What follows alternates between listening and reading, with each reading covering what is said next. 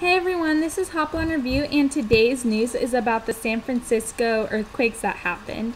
And the pair of earthquakes that rattled the San Francisco Bay Area on Monday were caught on tape during a morning television news show.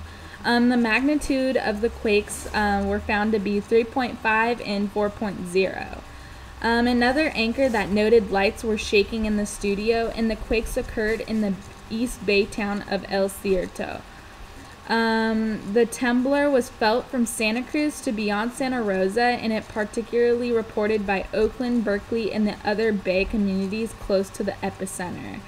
Seismologists believe the quake occurred along the Hayward Fault, and experts have long said that the Hayward Fault is overdue for a major temblor, which could be especially destructive given it runs under numerous population centers.